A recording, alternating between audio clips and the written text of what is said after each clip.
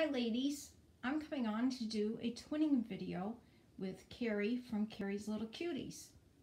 I have Maddie here, the Maddie Sculpt, and her name, I have named her Sophie Mae, and she has on the matching outfit that Karrie's Princess Annabelle has on.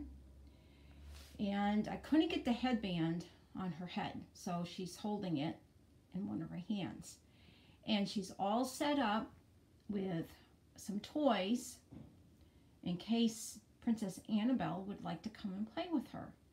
And she has her phone right here ready to talk to her.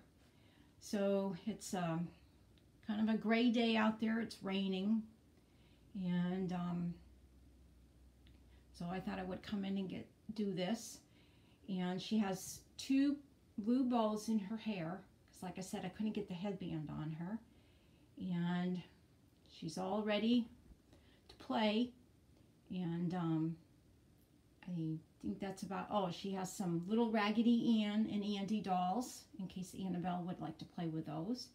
And she's got a couple Fisher Price toys right there. So I'm going to let everybody go and um, I will talk to you later.